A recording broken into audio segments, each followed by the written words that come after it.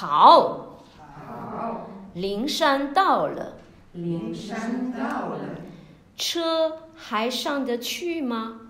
车还上得去吗？上不去了，上不去了，请下车吧。请下车吧。你们先往山上走。你们先往山你们先往山上走。我把车停好，我把车停好，马上就来。马上就来。这儿空气真好。这儿空气真好。林娜、小云，李娜、小云，山很高，山很高，你们爬得上去吗？你们爬得上去吗？你们爬得上去吗？你们爬得上去吗？没问题，没问题。我们一步一步的我们一步一步的往上爬吧。往上爬吧。你们可能不知道，你们可能不知道，灵山灵山是北京最高的地方。是北京最高的地方。有位女科学家。有位女科学家。发现，发现，这儿的自然环境。这儿的自然环境跟西藏高原跟西藏高原差不多。差不多。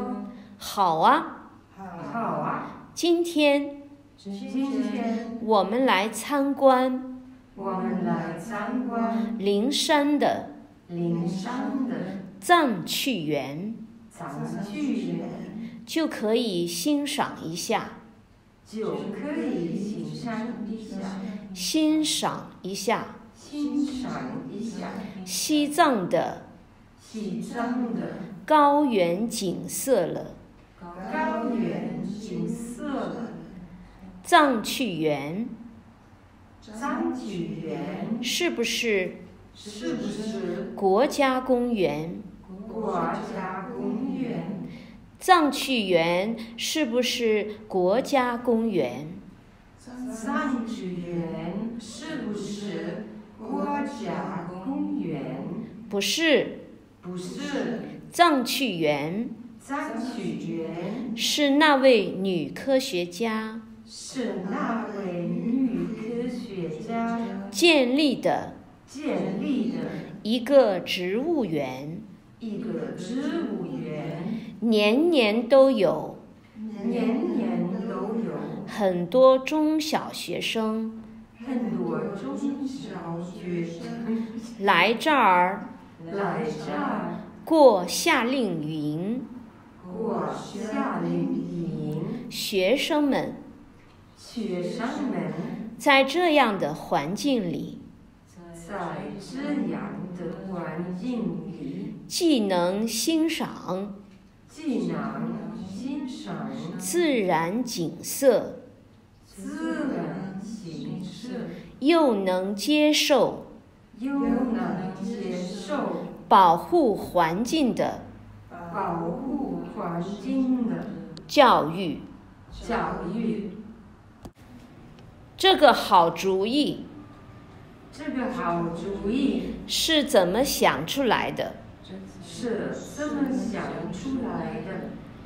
那位女科学家那位女科学家在西藏在西藏工作了工作了十八年，十八年，一九九六年一九九六年，她退休了，她退休了，想在北京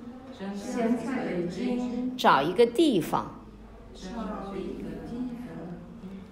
继续她的继续他的科学研究。